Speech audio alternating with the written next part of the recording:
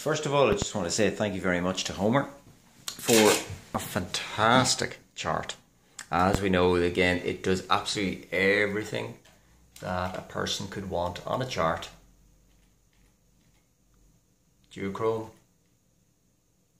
cross cyl dots, muscle balance, suppression test,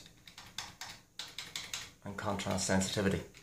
But the one thing that it's missing is polarization tests or 3D tests. But as a result of getting a 3D monitor and playing about with a little piece of software called Stereoscopic Player, I have managed to create some 3D tests. So again, for me to activate the 3D tests, I can just move and just double click on a window that I have on my computer and up comes a binocular duochrome. Doesn't show up particularly well at the moment and says, and I've also got a binocular balance using numbers. Now, from the patient's point of view, let's just go on the binocular balance using numbers.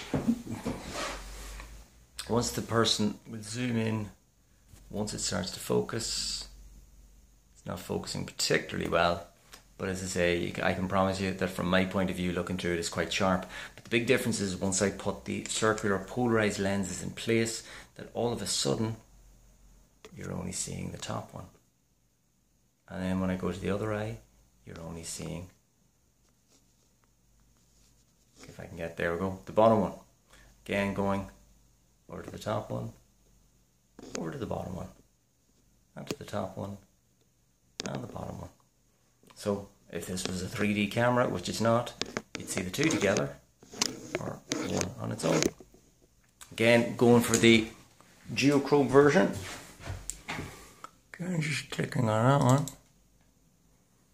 And there it is again. And again, from the patient's point of view, we have the top and the bottom, and the top and the bottom. And even whenever you're facing it direct on, the polarizers kind of cut out the glare and uh, you can see the effect again. Bottom. Top. Bottom. And top. So courtesy of that that pretty much makes the open optometry chart as good as the Thomson chart as far as I'm concerned. Plus as well I know that again that there have been various ideas with regards to controlling it. Now what I actually use is this happens to just be an ordinary Samsung remote control. What I've done is that I've mapped the various buttons using this little item here. And it's an IR receiver called Flirc and again very simple to use incredibly simple to use. But once you have the buttons mapped I can basically use my remote control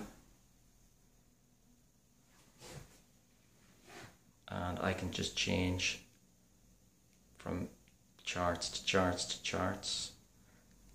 Again smaller. Cross changing lines. Randomize. This is all coming from this remote here. I can then also actually change for various optotypes. Change between numbers. Lea symbols. I can go on to my kangaroos go on to my shapes again change rotate through the shapes so essentially with the remote control and the 3D chart it basically does everything that I could need. And then all I need to do is just to see whether I can now somehow or another integrate the stereoscopic player into the remote control. And if I can, there'll be a couple of project charts going up in optical marketplace. Anyone buying?